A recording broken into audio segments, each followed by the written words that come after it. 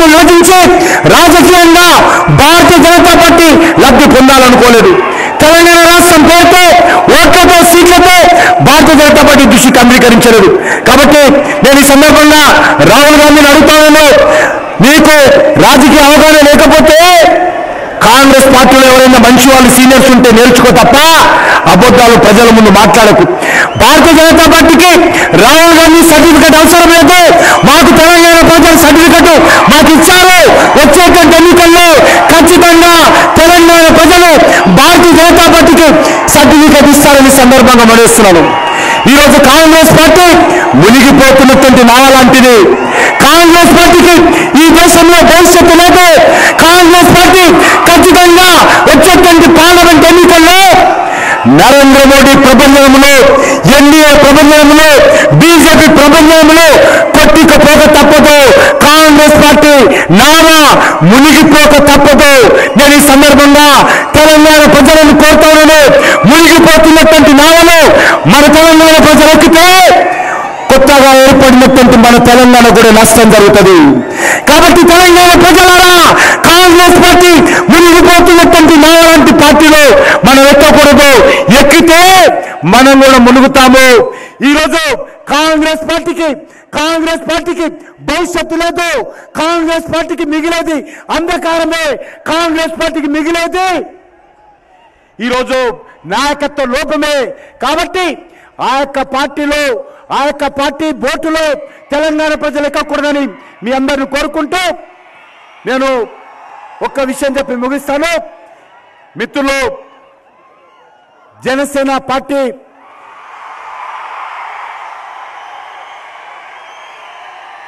అధ్యక్షులు ప్రముఖ సినిమా నటులు ఒక రాజకీయమైనటువంటి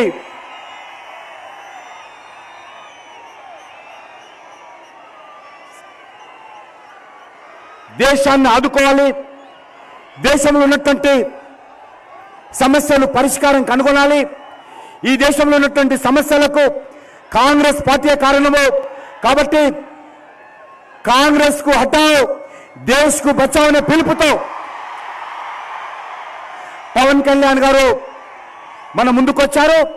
వారు ఎంతో ఉదార భావంతో నేను ఎన్డీఏకు మద్దతు ఇస్తాను నరేంద్ర మోడీ గారి దేశానికి ప్రధానమంత్రి కావాలన్నటువంటి దేశం మీద ఉన్నటువంటి మక్కువతో ప్రేమతో ఈరోజు పవన్ కళ్యాణ్ గారు ఎన్డీఏ ర్యాలీలో ఈరోజు మన తెలంగాణ రాష్ట్రంలో ఈ యొక్క నిజామాబాద్ పట్టణానికి వచ్చారు.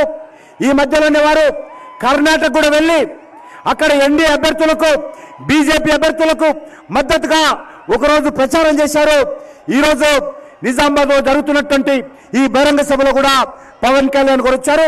వారికి కూడా రాష్ట్ర భారతీయ జనతా పార్టీ తరఫున ఎన్డీఏ పార్టీ తరఫున వారికి హృదయపూర్వకమైనటువంటి ధన్యవాదాలు స్వాగతం పలుకుతూ కొద్దిసేపట్లో నరేంద్ర మోడీ గారు వస్తారు కాబట్టి మీరందరూ కూడా శాంతితో ఈ సభను జయప్రదం చేయాల్సి కోరుకుంటూ వచ్చేటువంటి ఎన్నికల్లో ఈరోజు తెలంగాణ రాష్ట్రంలో కూడా కాంగ్రెస్ పార్టీకి టిఆర్ఎస్ పార్టీకి ఖచ్చితంగా రోజు రోజు వాతావరణం తగ్గుతూ ఉంది. ఈరోజు తెలంగాణ జిల్లాలలో కానీ సీమాంధ్రలో కానీ దేశంలో కానీ ఏదైనా ఒక రాజకీయ పార్టీకి బలం పెరుగుతుందంటే గ్రాఫ్ పెరుగుతుందంటే అది ఎన్డీఏ భారతీయ జనతా పార్టీకి మాత్రమే. తెలంగాణలో కూడా ఈరోజు ఖచ్చితంగా బీజేపీ టీడీపీ కూటమి అధికారంలోకి వస్తుంది. మేము వచ్చిన తర్వాత ఒక భవ్యమైనటువంటి తెలంగాణ ఒక బంగారు తెలంగాణ ఒక సస్యశ్యామల తెలంగాణ ప్రగతి రథ చక్రాల మీద ఈ యొక్క తెలంగాణను ముందుకు తీసుకెళ్ళి ఈ తెలంగాణను అన్ని రంగాలలో అభివృద్ధి చేసేటువంటి సత్తా ఉన్నటువంటి ఈరోజు టీడీపీ బీజేపీ కూటమిని తెలంగాణ ప్రజలు ఆదరించి గెలిపించాల్సిందిగా మీ అందరినీ కోరుకుంటూ సెలవు తీసుకుంటున్నాను. భారత్ మాతాకి!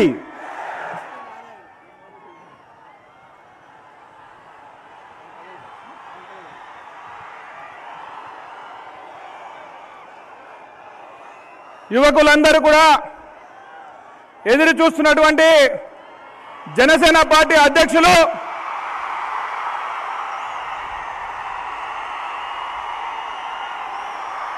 యువకుల ఆరాధ్య దైవం గౌరవనీయులు పెద్దలు పవన్ కళ్యాణ్ గారిని ప్రసంగించాల్సిందిగా కోరుతా ఉన్నాను.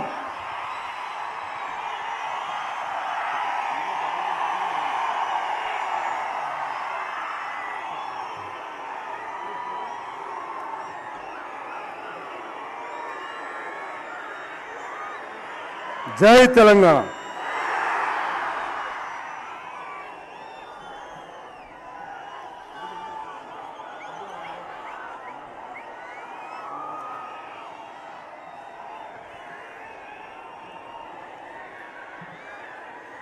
కులాలకి మతాలకి ప్రాంతాలకి అతీతంగా సమాన న్యాయం జరగాలనే గాఢమైన ఆకాంక్షే నన్ను జనసేన పార్టీ పెట్టనిచ్చింది ఇలా. నిజామాబాద్కి మీ ముందు నిలబెట్టింది.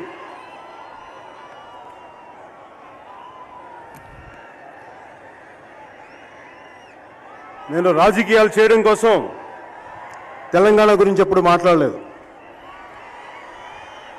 నాకు తెలంగాణ అంటే ప్రేమ నాకు తెలంగాణ అంటే ఇష్టం.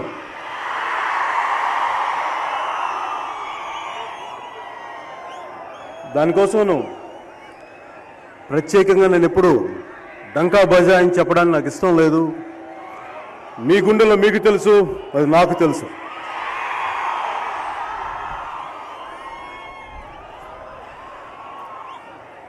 ఈ రోజున తెలంగాణ మనకి ఏ పరిస్థితిలో ఉంది? ఎలాంటి పరిస్థితిలో ఉంది? ఎవరి వల్ల వచ్చింది? వీటన్నిటికంటే కూడా వచ్చిన తెలంగాణని మనం ఎంత సమర్థవంతంగా పాలించుకోవాలి? ఎలాంటి అవకాశాలు కావాలి? ఎలాంటి అభివృద్ధి కావాలనే మనం మాట్లాడుకోవాలి. ఈ మన ఈరోజు మనం మాట్లాడుకునే దాని మీదే. తెలంగాణ రాష్ట్రం రాగానే అందరూ పోటీ పడుతున్నారు. ఇది మా వల్ల వచ్చింది. ఇది మేము కృషి పెడితే వచ్చింది. మేము కృషి మేము పోరాటాలు చేస్తే వచ్చినాయి అని అందరూ అంటున్నారు. నిజమే.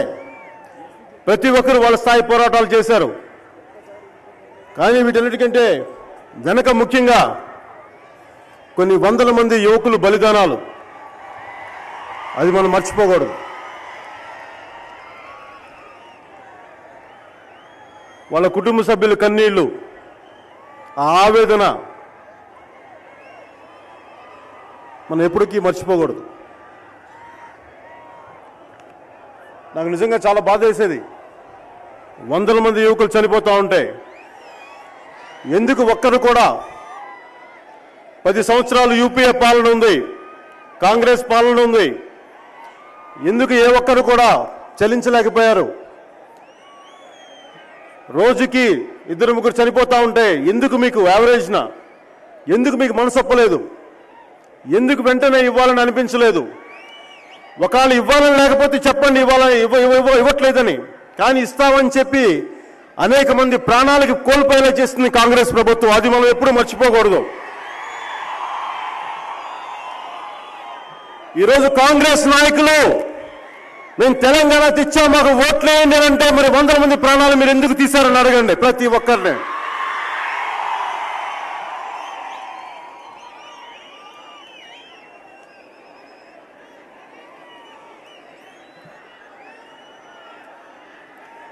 ఈ కోట్లాది ప్రజల ఆకాంక్ష బలిదానాలు నడుమొచ్చిన మన తెలంగాణని ఎవరు ఎలా సమర్థవంతంగా పాలిస్తారో ఆలోచిద్దాం.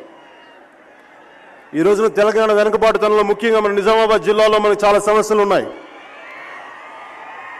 నేను రెండు వేల తొమ్మిదిలో ప్రజారాజ్యం పార్టీ ఎలక్షన్స్ తరపున మొత్తం తెలంగాణ అంతా ప్రతి జిల్లా ప్రతి తాండా ఆదిలాబాద్లోని ప్రతి తాండా నలుమూల నేను తిరిగాను తెలంగాణ. నాకు తెలంగాణ బాధలు తెలంగాణ కష్టాలు తెలంగాణ సమస్యలు నాకు బాగా తెలుసు. కాకపోతే దురదృష్టవశాత్తు నేను నటుండే నేను రాజకీయాల్లోకి అప్పటికి నేను వచ్చింది క్యాంపెయిన్ చేయడానికి తప్ప పాల్గొనడానికి రాలేదు. ఎదుండ దానికి కారణం కుటుంబ రాజకీయాలు చేయడానికి రాలేదు. మనం మన వల్ల ఏం జరుగుతుందో మనం ఎంత పాటుపడగలమో ఎన్ని కష్టాలు పడి ప్రజలకు న్యాయం చేయగలమో దాని మీద ఆలోచన వచ్చింది. అందుకనే నేను ఒక ఎమ్మెల్యేగా కానీ ఒక ఎంపీగా కానీ అవకాశం ఉండి గెలిచే అవకాశాలు ఉండి అన్ని అవకాశాలు హంగులు ఉండి కూడా ఎందుకు చేయకపోవడం కారణం ఏంటంటే నాకు కుటుంబ పాలన నాకు ఇష్టం లేదు.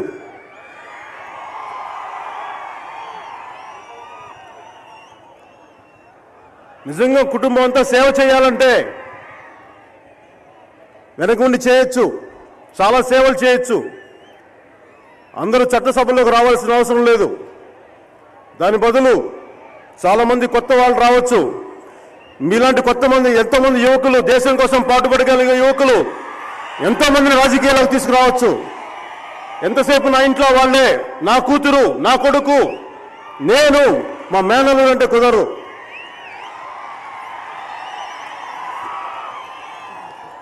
మధ్యన నాకు ప్రతి ఒక్కరూ తెలుసు. చాలా మంది తెలంగాణ నాయకులు తెలుసు అటువైపు సీమాంధ్ర నాయకులు తెలుసు అన్ని పార్టీల్లో ఉన్న నాయకులు తెలుసు. ఈ మధ్యన గతంలో మాతో పాటు పనిచేసిన పీఆర్పీలో పనిచేసి సికింద్రాబాద్ పార్లమెంట్ అభ్యర్థిగా పోటీ చేసి ఓడిపోయిన శ్రవణ్ నాకు బాగా పరిచయం. తర్వాత కలవలేకపోయినా కానీ ఆయన ఇంటర్వ్యూలు ఈ మధ్యన చూస్తా ఉన్నా. ఆ రోజు పీఆర్పీ టికెట్ మనం శ్రవణ్ గారికి ఇచ్చినప్పుడు ఆయన ఏ కులం ఆయన కులానికి ఎన్ని ఓట్లు ఉంటాయి అని అని ఆలోచించి ఇవ్వలేదు టికెట్. మనస్ఫూర్తిగా పార్టీకి పనిచేశాడు. ఆ పార్టీ అతని గుర్తింపుకే సికింద్రాబాద్ నియోజక పార్లమెంట్ నియోజకవర్గం టికెట్ ఇచ్చింది. అలాంటి శ్రవణ్ ఈ రోజున సీట్ అడిగితే మనకు తెలుసు టీఆర్ఎస్ తరఫున అతను తెలంగాణ అని ఎంత భుజం మీద వేసుకున్నాడో. ఎన్ని పోరాటాలు చేశాడో. కానీ అతనికి టికెట్ అడిగితే మీ కంసాలి కులం నుంచి కనీసం పట్టుమని పది ఓట్లు కూడా ఉండవు. నీకు ఎలా సీట్ ఇస్తాం? అని అవమానపరిచారు. నాకు బాధ ఏంటంటే మన కులానికి ఓట్లు లేకపోతే మనం ఎప్పుడు చట్టసభల్లో ప్రాతినిధ్యం వహించలేమా? అంతేనా? అదేనా మన పడ్డ అవమానం అని అనిపించింది. కానీ ఒక మనిషి గుణగుణాలు చూడాలి పోరాటం చేయగలిగే సత్తా ఉందా లేదా అని చూడగలగాలి తప్ప కులాన్ని బట్టే ఇస్తే ఒక కులానికి అన్ని సీట్లు అవసరమా ఒక కుటుంబానికి అన్ని సీట్లు అవసరమా అనేది మనం కూడా అడగచ్చు.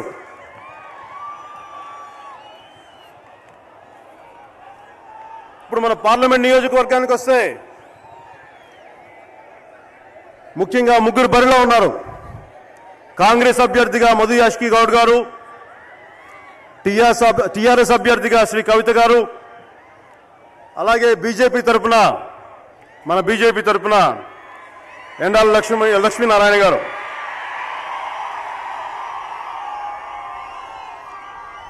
మూడు పార్టీలు ముగ్గురు అభ్యర్థులు ముఖ్యమైన పోటీ ఇదే. నేను మీకు ఒకటే చెప్తా. నాకు నేను అడిగితే ఓట్లేస్తారా? నేను అడిగితే చేస్తారా? నాకు ఎంత బలం ఉందో నాకు తెలియదు కానీ ప్రజా సమస్యల కోసం నేను నటుడిగా మీకు తెలుసు. కానీ ప్రజా సమస్యలు ప్రజలకి అన్యాయం జరిగితే ఎప్పుడు గళమెత్తడానికి నేను వెనకాడను. అది సినిమాల్లో పాటల ద్వారా కావచ్చు ఈ రోజు ఈ సభల ద్వారా కావచ్చు.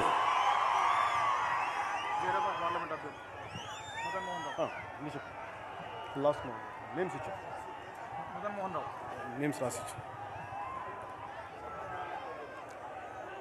పది సంవత్సరాలు కాంగ్రెస్ ప్రభుత్వం ఉంది. ఒకప్పుడు రాష్ట్రంలో పది సంవత్సరాలు సంవత్సరం కాదు రెండు సంవత్సరాలు కాదు పది సంవత్సరాలు ఒక దశాబ్ద కాలం. ఒక దశాబ్ద కాలంలో ఒక చిన్నపిల్లవాడు పిల్లవాడు పదేళ్ళు వస్తాయి.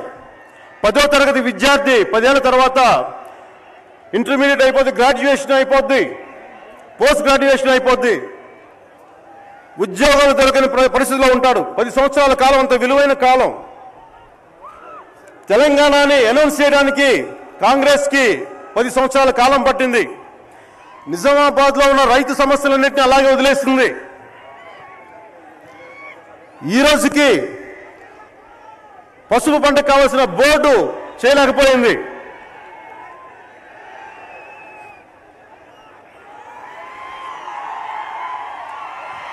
అలాగే నిజామాబాద్కి అత్యధికంగా పంట పండేది చెరుకు పండించే చెరుకు.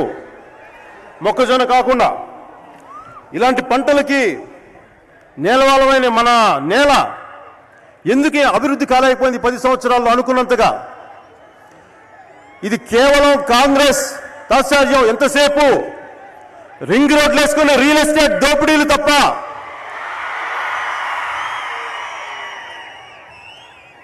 రింగ్ రోడ్ వేసుకునే రియల్ ఎస్టేట్ దోపిడీలు తప్ప ప్రజా సమస్యల పట్ల దృష్టి పట్ల వందల మంది చనిపోతుంటే ప్రతి ఒక్క నాయకులు అలాయి బలాయిలు చేసుకుంటూ కాలం గడుపుతున్నారే కానీ నిజంగా ప్రజా సమస్యల పట్ల దృష్టి పెట్టాల. లేకపోతే ఇంతమంది చనిపోయే అవకాశం లేదు. మన సమస్యలన్నీ ఇంత తీర్చకుండా ఇలా ఉండిపోయాయి కావు. ఈరోజు కాంగ్రెస్ నాయకులు కోట్లు అడుగుతున్నారు మనకి.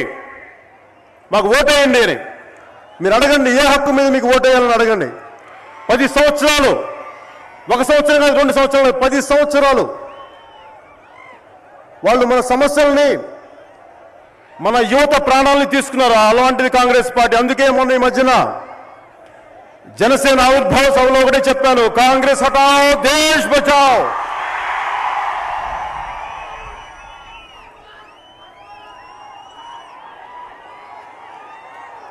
వ్యవసాయ ఆధారిత ప్రాజెక్టులు అనేక రకాల సమస్యలు ఉన్నాయి మనకి లేవు. సరైన ఉద్యోగాలు లేవు.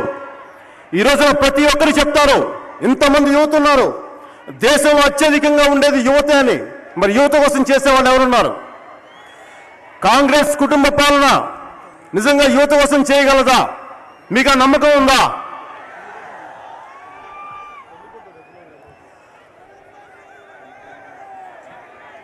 అందుకే నేను వచ్చిన అందుకే నేను మోడీ గారిని సపోర్ట్ చేస్తున్నాను అలాగే టిఆర్ఎస్ పార్టీ ముప్పై రెండు పేజీల మేనిఫెస్టో చూశాను నేను. తెలంగాణ కోసం కష్టపడ్డారు. దాన్ని ఎవరు కాదనరు. వాళ్ళ కష్టాన్ని గుర్తించారు. దాన్ని ఎవరు కాదనరు. కానీ ముప్పై రెండు పేజీల మేనిఫెస్టోలో బంగారు తెలంగాణ కావాలని ప్రతి అక్షరం చాలా బాగుంది. కానీ తెలంగాణ సాధిస్తే మేము కాంగ్రెస్లో కలిసిపోతామని మాట ఇచ్చారు కానీ కాంగ్రెస్లో కలవలేదు. మరి ఏం చేశారు? కాంగ్రెస్ నుంచి కొట్టారు. కాంగ్రెస్ కాళ్ళ వీళ్ళ పడ్డారు. కానీ కాంగ్రెస్ నుంచి కొట్టారు. అలాగే ప్రతి ఒక్క జాతీయ బీజేపీ నాయకుల దగ్గరికి వెళ్ళి అద్వానీ నుంచి ప్రతి ఒక్కరి దాకా వెళ్ళి మాకు తెలంగాణ సపోర్ట్ చేయండి మద్దతు చేయండి అని చెప్పి బతికిలాడి బతికిలాడితే వాళ్ళ మీద ప్రేమతో బీజేపీ పార్టీ ఇవ్వలేదు. తెలంగాణ ప్రజల కోసం ఆత్మ బలిదానాలు ప్రజలు చనిపోతుంటే వాళ్ళ కోసం నిజమైన తెలంగాణ సాధన కోసం భారతీయ జనతా పార్టీ మద్దతు పలికింది. మద్దతు పలికిన తర్వాత రేవు దాటాక తెప్ప తగిలేసినట్టు మళ్ళీ కేసీఆర్ గారు భారతీయ జనతా పార్టీని మతతత్వ పార్టీ అది లౌకికవాద పార్టీ కాదు అని చెప్పి మళ్ళీ తిట్టడం ప్రారంభించారు. అలాగే ఆయన అనేది మూడో ఫ్రంట్కి వెళ్తా ఉంటారు. నేను అనుకుంటా ఉన్నా మూడో ఫ్రంట్ అంటే ఏంటని? మూడో ఫ్రంట్ అంటే ఎవరికి ఇష్టం లేదు తెలంగాణ రావటం. వాళ్ళు మూడో ఫ్రంట్. మరి ఆ మూడో ఫ్రంట్ కానీ ఎలా మద్దతు తెలుపుతారు? దానికి తోడు మీరు ఆలోచించండి మిమ్మల్ని రెచ్చగొట్టడానికో లేదంటే కాదు మీరు ఆలోచించ మీరు ఆలోచించండి ఇది. మరి ముప్పై రెండు పేజీల టీఆర్ఎస్ మేనిఫెస్టోలో తెలంగాణ కోసం మేము అవి చేస్తాం. ఉదాహరణకి వాటర్ ప్రాజెక్ట్స్ చేయాలి ఇరిగేషన్ ప్రాజెక్ట్స్ చేయాలి. ఇరిగేషన్ ప్రాజెక్టులు చేయాలంటే సెంట్రల్ గవర్నమెంట్ సహకారాలు కావాలి. అక్కడ ఎవరున్నా కానీ. మరి రేపు పొద్దున వచ్చేది యూపీఏ ప్రభుత్వం కాదు. వచ్చేది మోడీ గారి నాయకత్వంలో ఉన్న బీజేపీ ప్రభుత్వం ఎన్డీఏ ప్రభుత్వం. మరి ఆయనని చంద్రశేఖరరావు గారికి తిట్టడం చాలా అలవాటు. ప్రతి ఒక్కరిని తిడతారు. పడతాం. కానీ ఆయన మోడీ గారిని కూడా వదలలేదు ఆయన తిట్లకి. మోడీ లేదు గీడీ లేదు అని చెప్పి అత్యంత అమర్యాదకంగా మాట్లాడారు. మరి అమర్యాదకరంగా. అది మీరు మర్చిపోకండి. ఎందుకంటే నోరు మంచిదైతే ఊరు మంచిది అవుద్ది ఇప్పుడు ఆయన ముప్పై రెండు పేజీల మేనిఫెస్టోలో చాలా గొప్ప వాక్యాలు ఉన్నాయి. అవి చేద్దాం ఇవి చేద్దాం మరి సాధించే వాళ్ళు ఇట్లా నో- నోరేసుకొని ప్రతి ఒక్కరిని ఇట్లా ఇష్టం వచ్చినట్టు తిడితే రేపొద్దున తెలంగాణకు అది ఇదవుతుందా? ఉపయోగపడుతుందా? లేదా ద్రోహం జరుగుతుందా తెలంగాణకి? అస్సలు బాధ్యత లేని నాయకత్వంలో తెలంగాణ రాష్ట్రాన్ని కానీ చేతిలో పెడితే ఈసారి ఇరవై ఏళ్ళు వెనక్కి వెళ్తుంది అది మర్చిపోవద్దు దయచేసి.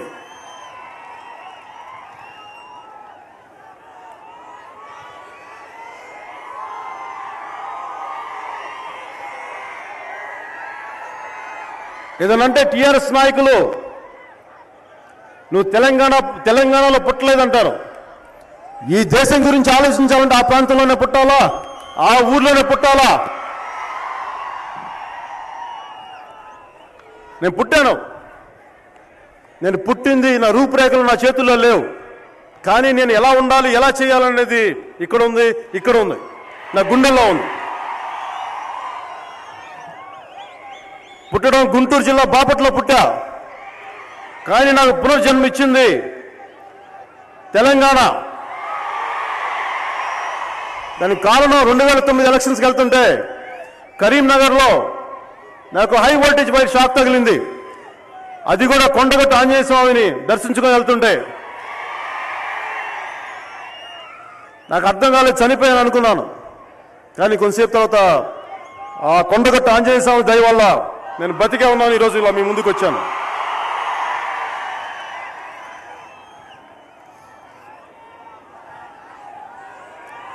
అందుకనే నాకు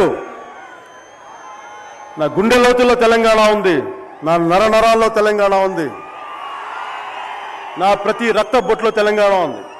అందుకే అన్యాయం జరిగితే ఒక తెలంగాణ సాయుధ పోరాట వీరుడు ఎలా పోరాటం చేయగలడో ఎలా ఎదురు తిరగలడో అది నేను చేయగలను. ఆ దానికి స్ఫూర్తి చిన్నప్పుడు నేను చదువుకున్న తెలంగాణ సాయుధ పోరాటం స్ఫూర్తి. మరి ఇలా బూతులు తిట్టి ప్రతి ఒక్కరిని అమర్యాదకరంగా మాట్లాడే కేసీఆర్ గారు రేపొద్దున కవిత గారిని గెలిపిస్తే మనకు ప్రాజెక్టులు కావాలి. ఉదాహరణకి దాంట్లో టీ టీఆర్ఎస్ మేనిఫెస్టోలో ప్రతి జిల్లాకి ఒక ఎయిర్పోర్ట్ కావాలంటారు. ప్రతి జిల్లాకి ఒక ఎయిర్పోర్ట్ కావాలంటే అక్కడ కేంద్ర ప్రభుత్వం అనుమతులు కావాలి. ఏవియేషన్ అథారిటీ అనుమతులు కావాలి. ఈరోజు వాళ్ళని బూతులు తిట్టి రేపొద్దున మనకేదైనా అనుమతులు కావాలంటే ఇవన్నీ మర్చిపోతారా? కానీ ఇవన్నీ నష్టపోయేది వీళ్ళు నష్టపోరు. మళ్ళీ ఏం చెప్తారు? ఐదు ఎలక్షన్ల తర్వాత మేము ఏమైతే అనుకున్నామో చేశాం.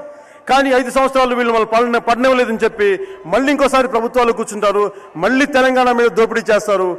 అది మీరు మర్చిపోకండి. అలాగే మన కాలేజీలు ఉన్నాయి. సరైన కాలేజీలు ఉన్నాయి. ఇంతమంది యువత కావాలంటే సరైన వొకేషనల్ కోర్సెస్ కావాలి. వృత్తి విద్యలు కావాలి. ఒక చదువు చదివితే జాబ్ రెడీ అంటే ఉద్యోగం రెడీగా ఉండే చదువులు కావాలి. అంటే అలాంటి ఎడ్యుకేషన్ సిస్టమ్స్ కావాలి. కానీ ఇవన్నీ లేవే. ఇవన్నీ లేవు ఇవన్నీ కావాలి అంటే మరి ప్రతిసారి ఇప్పుడున్న ఎన్డీఏ ప్రభుత్వంతో కానీ అటువైపు ఏ సోనియా గాంధీ గారి ఇంటికి వెళ్ళి ఇంతమంది బలిదానాలు చేస్తే వాళ్ళ కుటుంబ సభ్యులను తీసుకెళ్ళలేదు. ఇంతమంది పోరాటాలు చేస్తే వాళ్ళు ఎవరిని తీసుకెళ్ళేదు కానీ కేవలం తెలంగాణ అంటే వాళ్ళ కుటుంబం కాదు కేసీఆర్ గారి కుటుంబం కాదు కేసీఆర్ గారి కుటుంబ సభ్యులు కాదు మనందరం మీ అందరూ అని మనం గుర్తు చేసుకోవాలి.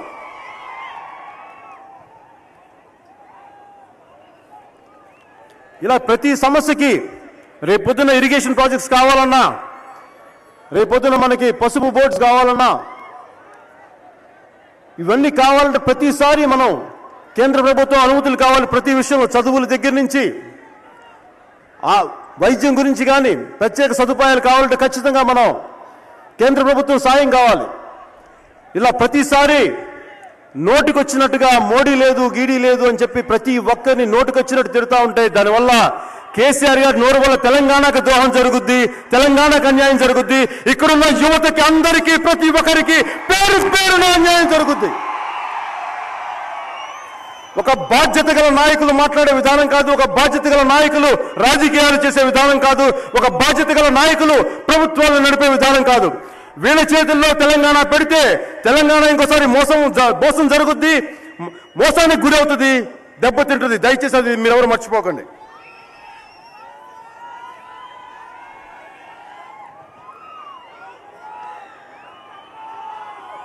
బీజేపీ తరఫున మూడో వ్యక్తి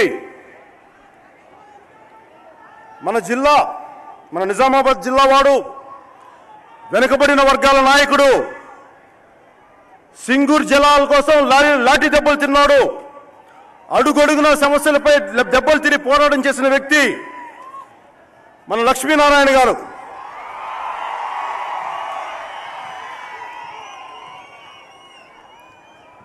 ఎమ్మెల్యేగా చేశారు. తెలంగాణ కోసం తెలంగాణ సాధన కోసం ఢిల్లీలో కూడా దెబ్బలు తిన్నారు. ఈ రోజున ఆయన మన నిజామాబాద్ జిల్లాకి ఎంపీగా నిలబడుతున్నారు. ఆయన్ని కానీ మనం గెలిపిస్తే ఇన్ని సంవత్సరాలు ఇంతకాలం మనకు నిజామాబాద్ జిల్లా వెనుకబాటుతనానికి కానీ ఏవైతే కారణాలో ఒక సమర్థవంతమైన నాయకుడు మనకి ప్రధానమంత్రి కాబోతున్న తరుణంలో ఈయన్ని కానీ వెన్నుకుంటే అది మన నిజామాబాద్ జిల్లాకే కాదు మన తెలంగాణ కూడా చాలా లాభదాయకం చాలా లాభం.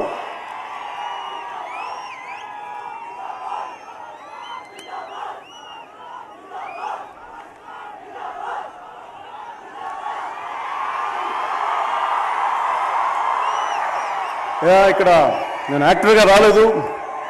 దేశం కోసం వచ్చాను. మన జిల్లా కోసం వచ్చాను. మన తెలంగాణ కోసం వచ్చాను. వ్యక్తి నిర్ణయం తీసుకోవడానికి ధైర్యం ఉంటుంది. సోనియా గాంధీ గారికి ప్రధానమంత్రి పదవిలో ఉండే ధైర్యం లేదు.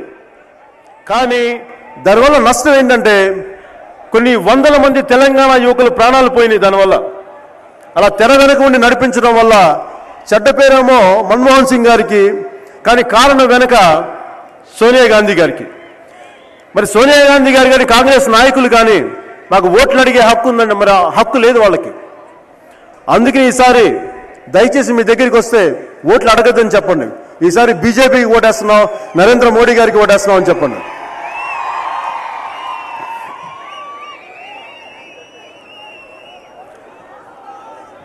నాకు చాలా ఇష్టమైన వ్యక్తి సచిన్ టెండూల్కర్.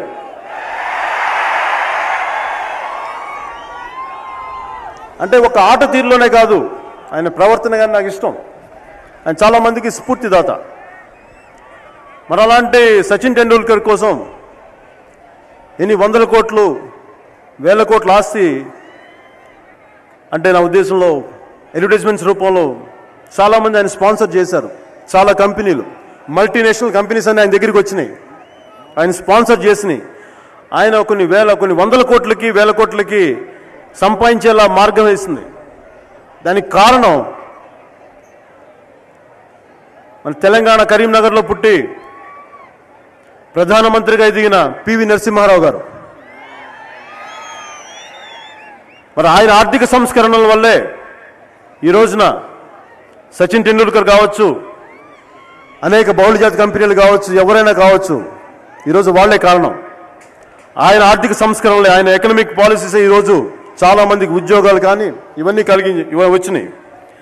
మరి అలాంటి తెలంగాణ వ్యక్తికి తెలంగాణ నాయకుడికి కాంగ్రెస్ పార్టీ ఇచ్చిన గౌరవం కనీసం ఆయన అంతిమ సంస్కారాలు ఢిల్లీలో కూడా చేయలేకపోయింది. చేసే లేదని చెప్పి అర్హత లేదన్నట్టుగా చెప్పారు. ఆయన కుటుంబ సభ్యులు అక్కడి నుంచి తీసుకొచ్చేశారు. ఇది నాకు కొన్ని సంవత్సరాలుగా తెలుసు. నేను ఈ మధ్యన చెప్పినా కానీ ఈ మధ్యనే ఆయన ప్రెస్ సెక్రటరీ మీడియా సెక్రటరీ రాసిన పుస్తకంలో ఉంటుంది. ఎంత మన తెలంగాణ నాయకుడిని మన మన తెలంగాణ నాయకుడిని ప్రజల కోసం పాటుపడ్డ నాయకుడిని కాంగ్రెస్ పార్టీ వాళ్ళ సొంత కాంగ్రెస్ పార్టీ ఎంత అవమానపరిచిందో. అందుకే వాళ్ళకి తెలంగాణ మీద ప్రేమ లేదు. ఎందుకంటే మన తెలంగాణ నాయకుడికే ప్రేమ ప్రేమ లేనప్పుడు మన మీద చూపించేది కపట ప్రేమే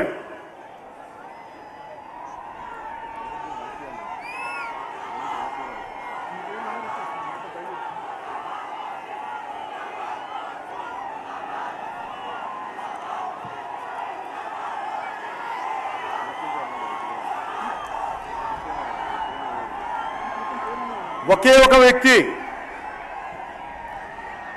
మోడీ గారి మోడీ గారు నిజంగా అభివృద్ధి చేయలేదంటారు.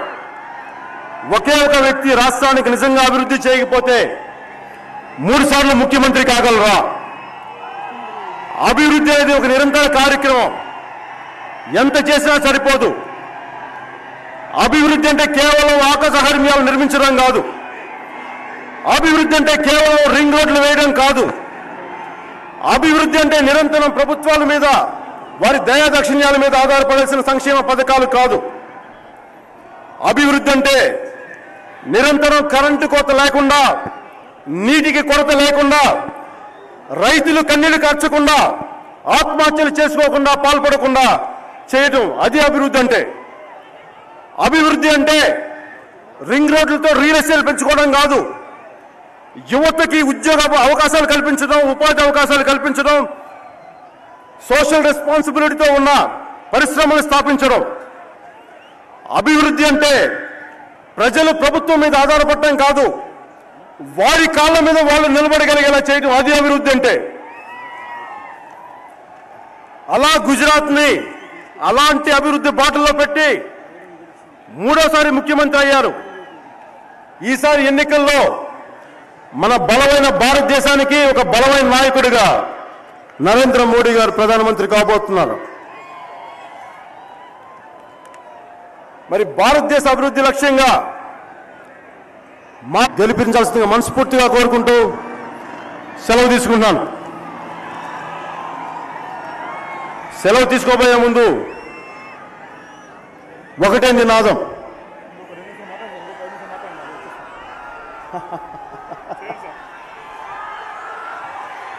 ఒకటే నినాదం. ఈ ఎన్నికల్లో దేశమంతటా ఒకటే నినాదం. కాంగ్రెస్ హటో కాంగ్రెస్ హటో కాంగ్రెస్ హటో జై హింద్! ధన్యవాదాలు పవన్ కళ్యాణ్ గారికి. ఈరోజు నిజామాబాద్ జిల్లాలో మానాల నుంచి మద్నూరు వరకు బుస్సాపూర్ నుంచి బస్సాపూర్ వరకు గ్రామ గ్రామాల నుంచి తరలి వచ్చినటువంటి అశేష ప్రజానీకానికి అదేవిధంగా ఇప్పుడే మన గిరిజనుల ఆరాధ్య దైవం గిరిజనులు దేవుడిగా కొలిచేటటువంటి వ్యక్తి శ్రీ రామారావు మహారాజ్ గారు నరేంద్ర మోడీ గారు ప్రధానమంత్రి కావాలని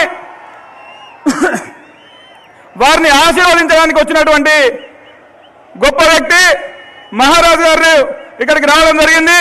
వారిని మీకు పరిచయం చేస్తూ ఉన్నాను. ఇప్పుడు బీజేపీ జాతీయ నాయకులు జాతీయ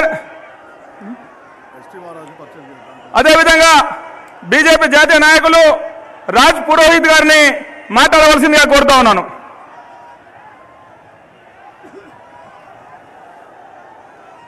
కాంగ్రెస్ బగా బగావ్ దేశ్ బచావ్. కాంగ్రెస్ బగా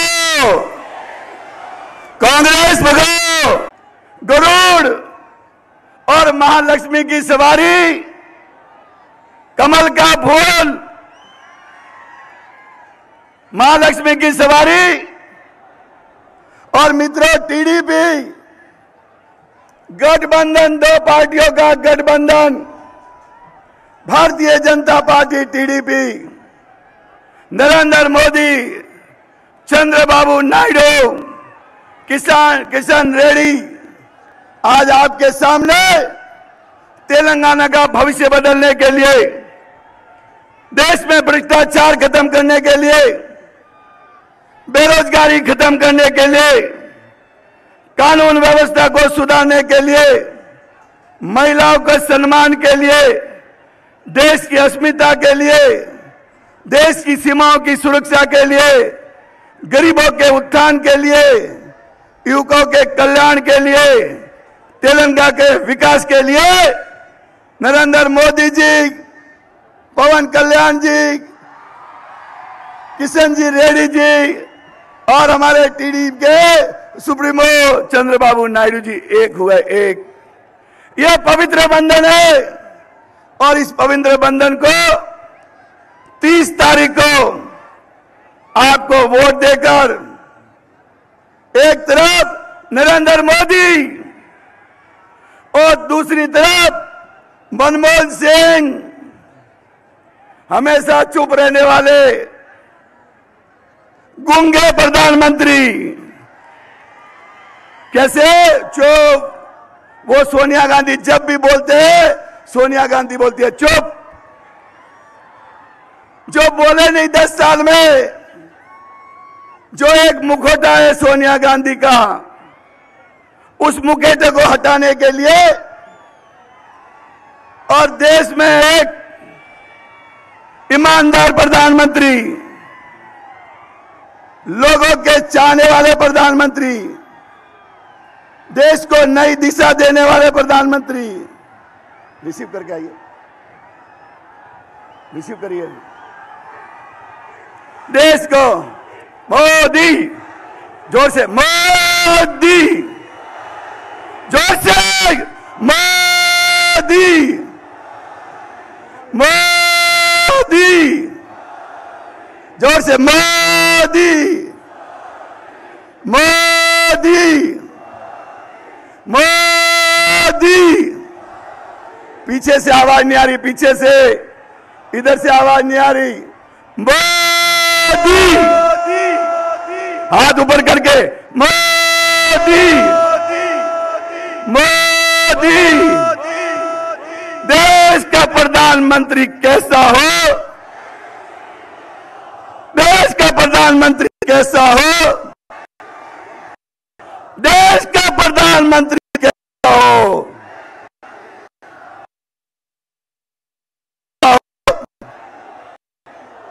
देश का प्रधानमंत्री कैसा हो? जोरदार तालियों से। देश का प्रधानमंत्री कैसा हो? देश का प्रधानमंत्री कैसा हो? मोदी। मोदी। मोदी। मोदी। ज़ोर से। ज़ोर से मोदी मोदी मोदी मोदी मोदी मोदी मोदी मोदी से मोदी मोदी मोदी मोदी। देश का प्रधानमंत्री कैसा हो?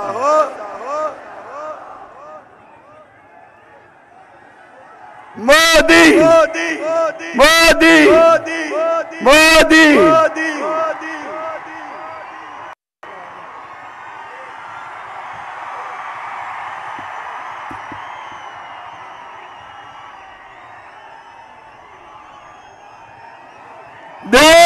का प्रधानमंत्री कैसा हो मोदी देश का प्रधानमंत्री कैसा हो देश का प्रधानमंत्री कैसा हो భావి భారత ప్రధానమంత్రి గౌరవనీయులు నరేంద్ర మోడీ గారు యువ హృదయాల ఆశాజ్యోతి నరేంద్ర మోడీ గారు రావడం జరిగింది వారికి నిజామాబాద్ జిల్లా ప్రజల స్వాగతం చెప్తూ వారికి నిజామాబాద్ జిల్లాలో మారుమూల గ్రామం నుండి గ్రామ గ్రామం నుండి అశేషంగా విచ్చేసినటువంటి ప్రజలందరి తరఫున కూడా వారికి స్వాగతం చెప్తూ ఇప్పుడు వారిని బీజేపీ శాసనసభ నాయకులు పార్లమెంట్ అభ్యర్థి గౌరవనీయులు ఎన్ఎల్ లక్ష్మీనారాయణ గారు శాల్వతో సన్మానించాల్సిందిగా కోరుతా ఉన్నాను. అదేవిధంగా ఈరోజు భారతీయ జనతా పార్టీలో ఈ జిల్లాలో మూడు సార్లు పార్లమెంట్ సభ్యు పార్లమెంట్ సభ్యుడిగా పనిచేసి మూడు సార్లు గెలిచినటువంటి కేశపల్లి గంగారెడ్డి గారు నరేంద్ర మోడీ గారి సమక్షంలో ఈరోజు భారతీయ జనతా పార్టీ చేరుతున్నారు. వారికి కండవ చెప్పి ఆశీర్వదించాల్సిందిగా కోరుతున్నాను. ఆహ్వానించాల్సిందిగా కోరుతా ఉన్నాను. లక్ష్మీనారాయణ గారిని నరేంద్ర మోడీ గారిని సన్మానించాలిగా కోరుతున్నాను.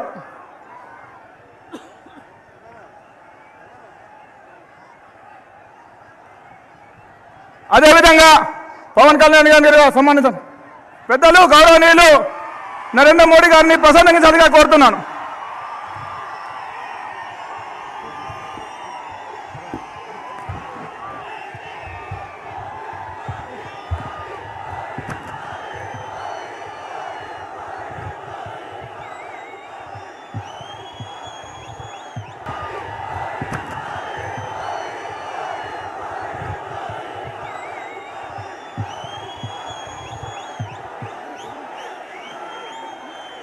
भारत माता की। भारत माता की। मंच पर विराजमान तेलंगाना। श्री लक्ष्मीनारायण जी, मंच पर विराजमान सभी वरिष्ठ महानुभाव और विशाल संख्या में पधारे हुए भारत के भाग्य विधाता मेरे भाई और बहनों।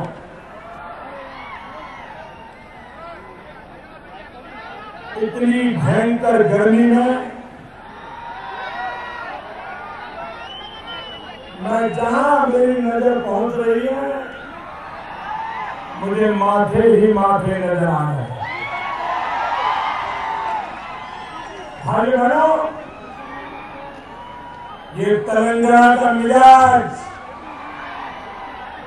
साफ़ साफ़ कह रहा है। अब तेलंगाना को क्या चाहिए? भाई बहनों तेलंगाना के लोगों ने इसके पहले बहुत चुनाव देखे होंगे। बहुत बार मतदान किया होगा। बहुत बार सरकारें चुनी होगी। लेकिन तेलंगाना के लिए ये चुनाव सामान्य चुनाव नहीं है। देशवासियों के लिए ये चुनाव जितना महत्व का है उससे ज़्यादा तेलंगाना के लोगों के लिए ये चुनाव महत्व का है। इसलिए अगर किसी परिवार में बालक का जन्म हुआ हो और बालक के जन्म के साथ माँ की मृत्यु हो गई हो उस बालक को संभालना, उसका लालन पालन करना, उसको बड़ा बनाना, ये कितनी बड़ी जिम्मेवारी होती है। भाई बहनों और इसलिए आपके लिए ये तय करना है कि दिल्ली में कैसी सरकार चाहिए।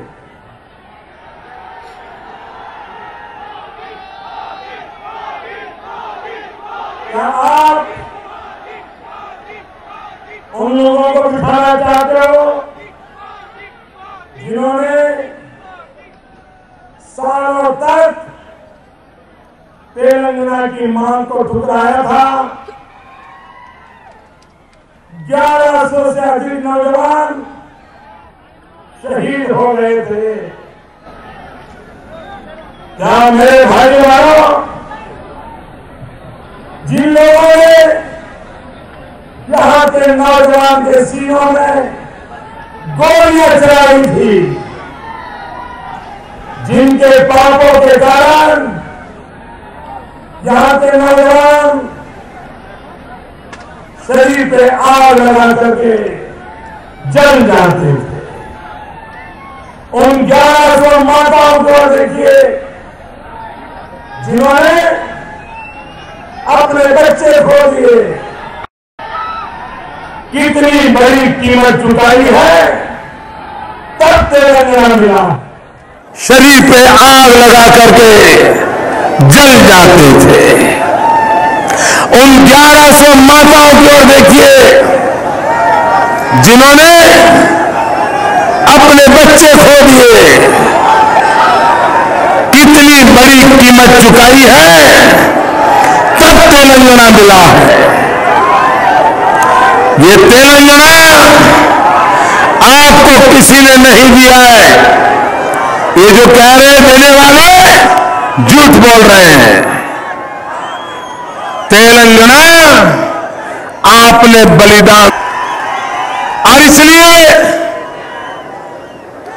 इस बार गलत वोट डालना मतलब उन 1100 बलिदानों को ठुकरा देना।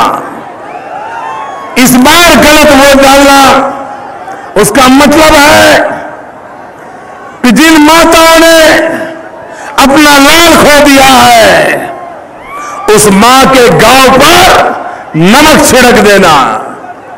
और इसलिए मैं तेलंगाना के भाइयों बहनों को बहुत जिम्मेवारी के साथ आज मैं तेलंगाना की धरती पर आया हूँ।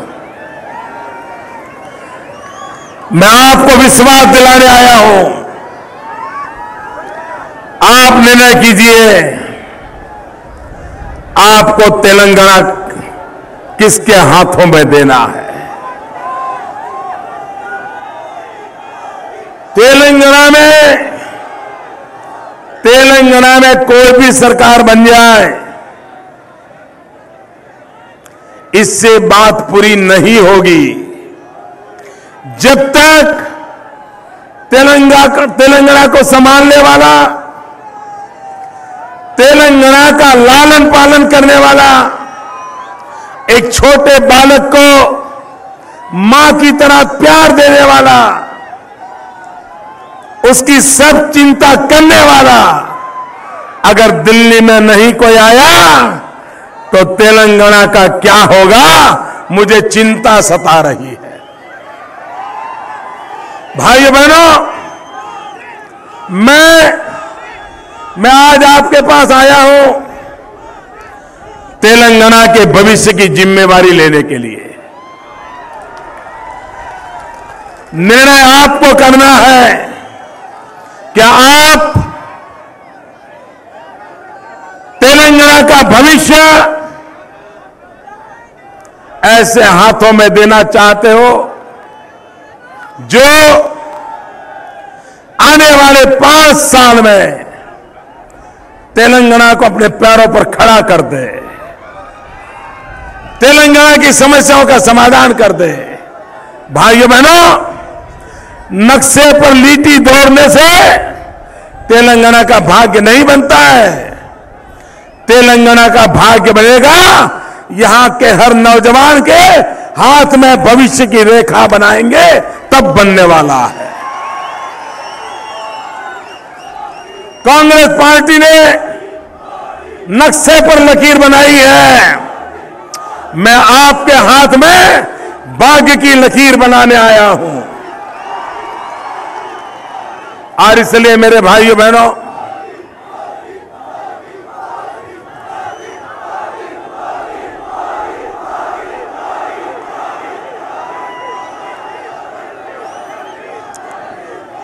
इसलिए मेरे भाइयों बहनों,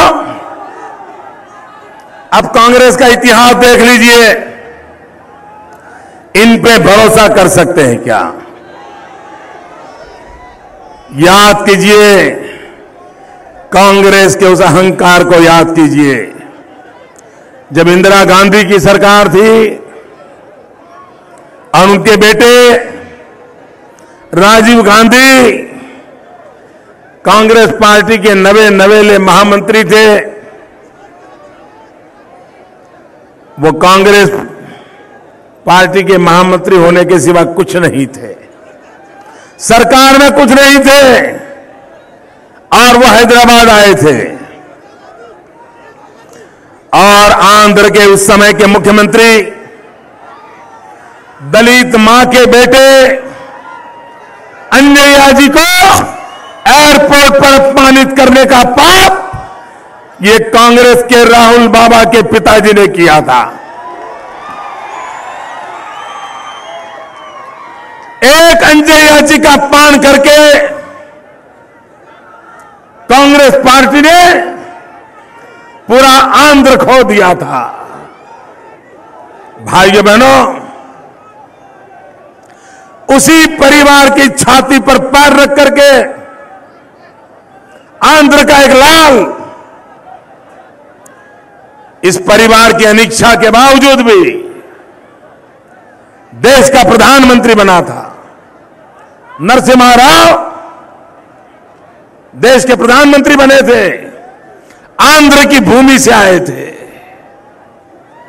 और देश उनके कार्यकाल को अच्छा मानता है। लेकिन ये परिवार जिसके दिल दिमाग में आंध्र हो या तेलंगाना हो, इसके प्रति एक भयंकर नफरत पड़ी हुई है। इसके कारण आज भी नरसिम्हा राव की मृत्यु के इतने साल के बावजूद भी नरसिम्हा राव के जन्मदिन या मृत्यु तिथि पे ये फूल चढ़ाने के लिए भी जाते नहीं है। दस साल से इनकी सरकार है, सैकड़ों योजनाएँ बनाई, लेकिन हिंदुस्तान के किसी राज्य में नरसिम्हा राव का नामो निशान इस परिवार ने मिटा दिया है। जिस परिवार को आंध्र के प्रति इतनी नफरत हो, जिस परिवार को तोड़ो और राज करो की नीति के तहत मजबूरन यहाँ के नौजवानों के बलिदान के कारण तेलंगाना भाइयों, और इसलिए आज तेलंगाना को अपने भविष्य की मज़बूत नींव डालने के लिए चुनाव है। आप मुझे कहिए, दिल्ली में कांग्रेस की सरकार है, दुनिया के देशों में संबंध बनाने का काम भारत सरकार का है। मेरे तेलंगाना से लाखों नौजवान मजदूर के रूप में गल्फ की कंट्री में जाते हैं। गल्फ की कंट्री में जाते हैं। कोई मुझे बताए, हमारे यहाँ के नौजवान जो गल्फ में जाकर के मजदूरी करते हैं, क्या उनकी ज़िंदगी सलामत है? क्या उनके जीवन की सुरक्षा है? क्या उनके मेहनत का दाम मिलता है? ये गल्फ में जाने वाले मेरे तेलंगाना के नौजवानों का अधिकारों की रक्षा कौन करेगा? अगर दिल्ली सरकार नहीं करेगी तो जिम्मा किसका होगा? भाइयों बहनों ये तेलंगाना के नौजवान, ये मेरे अपने भाई है। इनकी चिंता करना ये दिल्ली सरकार का दायित्व है। एक बार आप दिल्ली में भारी बहुमत से भाजपा की सरकार बनाइए। मैं आपकी समस्या का समाधान करके दूँगा।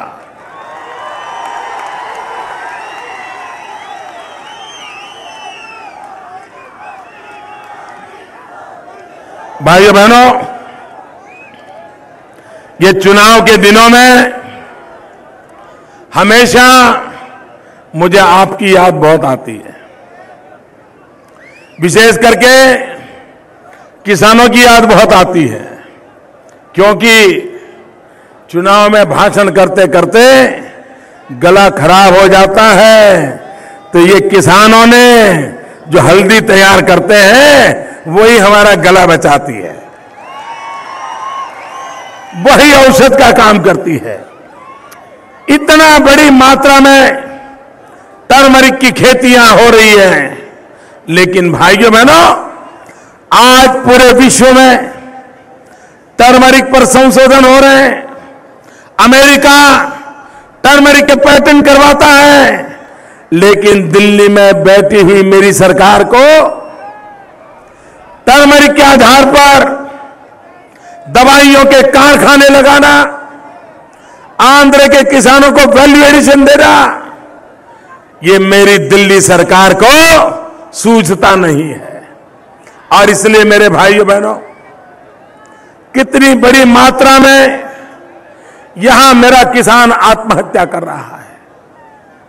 भाइयों बहनों, लाल बहादुर शास्त्री कहते थे, जय जवान, जय किसान।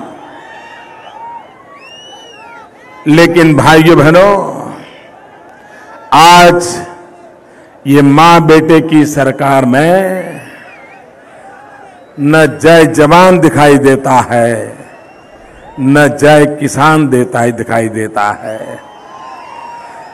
पाकिस्तान आकर के हमारे जवानों का सर काट लेता है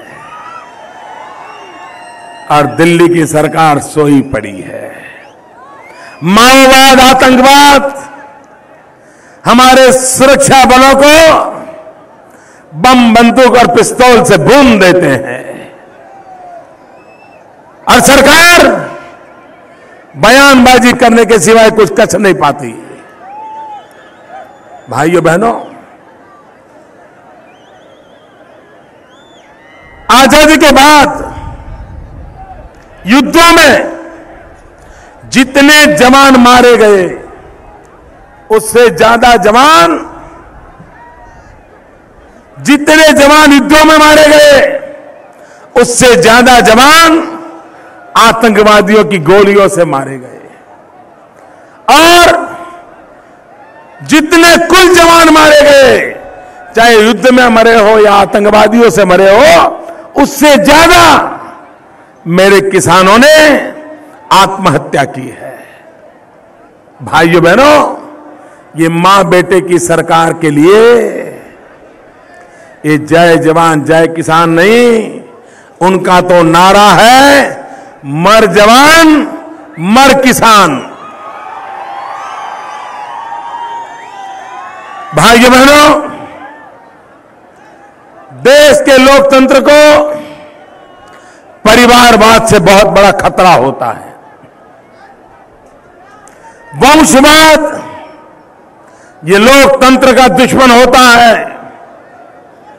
भाइयों बहनों, दिल्ली के परिवारवाद ने हिंदुस्तान को तबाह कर दिया है। माँ बेटे की सरकार ने भारत को कहीं का रहने नहीं दिया है। मेरे तेलंगाना के भाइयों बहनों, क्या आप भी तेलंगाना में गलती करना चाहते हो? एक ही परिवारवादी राजनीति चलने चाहते हो? एक ही परिवार के चार चार लोग चुनाव के मैदान में आके खड़े हो गए। क्या तेलंगाना के नौजवानों में दम नहीं है? क्या तेलंगाना की बेटियों में दम नहीं है? भाइयों बहनों, लूटना ही जिनका मकसद है। ऐसे लोगों के भरोसे ये नया पैदा हुआ तेलंगाना, उसको मरने दिया नहीं जाएगा। तेलंगाना शिशु अवस्था में है। उसको विशेष लालन पालन की ज़रूरत है। उसकी चिंता कोई करे, इसकी आवश्यकता है। भाइयों बहनों, ये काम ये काम मैं बहुत भली भांति कर सकता हूँ।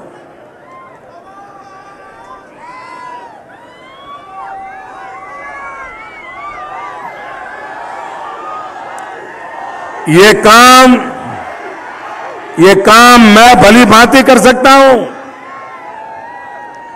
इसका कारण है, इसका कारण है, मैं बेवजह नहीं कह रहा हूँ। इसका कारण है कि तेलंगाना से तीन लाख से ज़्यादा लोग मेरे सूरत में रहते हैं और मैं इनको संभालता हूँ। उनका लालन पालन करता हूँ। उनको गौरव देता हूँ। भाइयों बहनों, मुझे तेलंगाना के लोगों को संभालने का पूरा अनुभव है। और इसलिए दिल्ली में भाजपा की सरकार बनाइए। तेलंगाना में भाजपा को अवसर दीजिए। तेलंगाना में भाजपा की सरकार हो, दिल्ली में भाजपा की सरकार हो, आपके तो दोनों हाथ में लड्डू आ जाएँगे।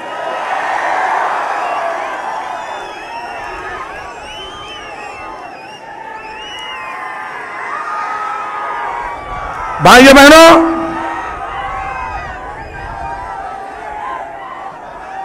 जब तेलंगाना की रचना का निर्णय आया, उस समय मेरे मन में एक बात थी, जो मैंने सार्वजनिक रूप से कही थी। क्योंकि तेलंगाना बने, ये भारतीय जनता पार्टी का निर्धार था। ये बात हमने कभी छुपाई नहीं थी। हम डंके की चोट पर कहते थे। लेकिन कांग्रेस पार्टी ने जिस प्रकार से इस सारे काम को किया, उसके कारण मैंने उस दिन कहा था, ये कांग्रेस पार्टी ऐसी डॉक्टर है, ऐसी डॉक्टर है, जिसने बच्चे को तो जन्म दिया लेकिन माँ को मार दिया। और जो माँ मैं कहता हूँ, वो माँ तेलंगाना स्पिरिट है। वो माँ तेलंग, तेलुगु का स्पिरिट है। तेलुगु भाषा है। तेलुगु कल्चर है। तेलुगु परंपरा है। ये हमारी माँ है। सीमांध्र हो या तेलंगाना, तेलुगु हमारी माँ है। कांग्रेस ने उस माँ को मारा है। बेटे को जन्म देना खुशी की बात है, लेकिन माँ को मार करके बेटे को बड़ा नहीं किया जा सकता। और इसलिए मेरे भाइयों बहनों, मैं बड़ी चिंता में था। ये तेलुगु स्पिरिट को कैसे बचाया जाए? तेलंगाना भी आगे बढ़े, सीमांध्र भी आगे बढ़े, लेकिन तेलुगु स्पिरिट को कोई आँच नहीं आनी चाहिए। ये जब मैं उलझन में था, मेरे दिल की बात बताता हूँ। मैं चिंता में था। उस समय एक दिन पवन कल्याण मेरे पास आए। मैंने, मैं मैं बताता हूँ, मैं दिल से बोलना चाहता हूँ आज दोस्तों, राजनीति एक तरफ़ है। पवन की बातों ने मेरे दिल को छू लिया था। और तब मेरी आत्मा कह रही थी, तब मेरी आत्मा कह रही थी, अगर मेरे देश में पवन जैसे नौजवान है तो तेलुगु स्पिरिट मर नहीं सकता है। तेलुगु स्पिरिट मर नहीं सकता। और इसलिए भाइयों बहनों, तेलंगाना भी आगे बढ़े, सीमांध्र भी आगे बढ़े, और ये दोनों बेटे तेलुगु माँ को भी संभाले। ये काम पवन कर सकता है। भाइयों बहनों, राजनीति से भी ऊपर बहुत सारी बातें होती है। अगर उनको नहीं संभालते तो देश नहीं चल सकता है। और इसलिए भाइयों बहनों, सत्ता आए, जाए। कोई जीते, कोई हारे। ये देश अजरामर है। ये भूमि अजरामर है। यहाँ के लोग अजरामर है। और इसलिए हमारा काम है कि हम अब तेलंगाना को आगे कैसे बढ़ाएँ? अब तेलंगाना को आगे बढ़ाने के लिए कैसा नेतृत्व चाहिए? अगर बाज़ार में बिकाऊ माल आ गया तो कहीं के नहीं रहोगे। और आप जानते हैं, तेलंगाना की राजनीति में कैसे कैसे बिकाऊ लोगों ने जगह बना ली है। भाइयों बहनों, आप भारतीय जनता पार्टी पे भरोसा कीजिए। हमारे गठबंधन पर भरोसा कीजिए। दिल्ली में ये सरकार का जाना तय है। अब कांग्रेस बच नहीं सकती।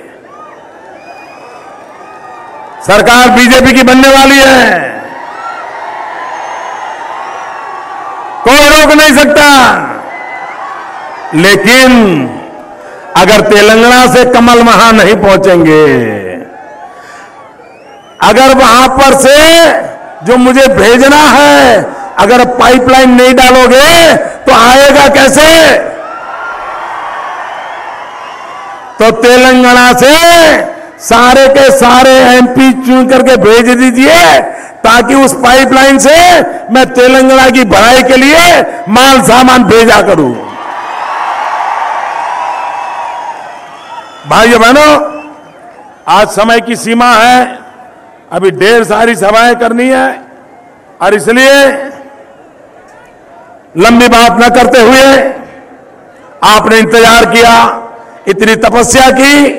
मैं फिर आपको विश्वास दिलाता हूँ, दिल्ली में जो सरकार बनेगी हमारी, उस सरकार के लिए तेलंगाना एक ऐसा बालक है जिसका लालन पालन करना, यह हमारी जिम्मेवारी है।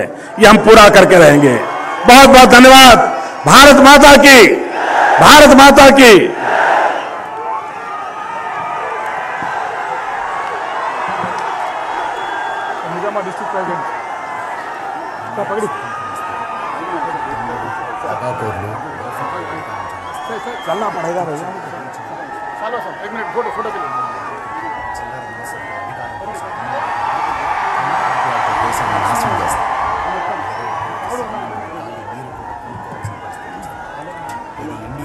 आगे जाओ इसलिए आप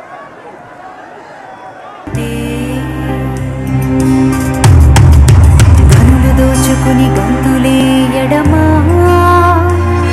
గణతంత్రమణ